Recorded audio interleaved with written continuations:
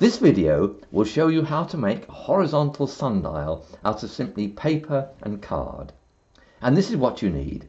First of all, a square of cardboard to act as the base with a line running down the center.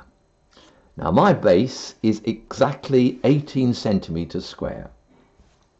Next, you'll need a right angled triangle of cardboard with the other angle here equal to the latitude of where you live. And this is called a gnomon. Now you're going to stick the gnomon down onto the base plate along that center line. And to do that, we have two pieces of bent cardboard, one that will go either side of the gnomon, and the gnomon will be stuck to those like this, and then all of them will be stuck to the center of the base plate along the line. Next, we need a scale now my scale has got two sides, one for summer and one for winter. And you'll need to cut a slot up the middle so that it will go down over the gnomon.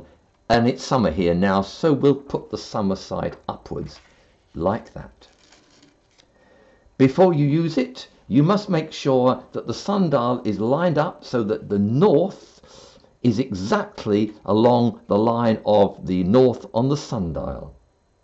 Now, it's actually not sunny in here today, so we'll put the lights out and show you how you read the time. So I'm using the light on my phone as the sun.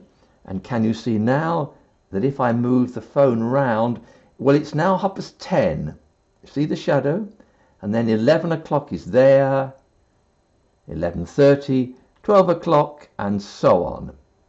But this, remember, will only work correctly if you have remembered to line your sundial up correctly. Now to help you with the making of the sundial, I've made some copies that you can download from my website www.schoolphysics.co.uk. So you need to log into that. It's all free. You then choose age 11 to 14, astronomy, that's the in-depth version, then choose sundials and then finally click on the word link and this will enable you to get a Word document you can print out and make all the parts for your sundial.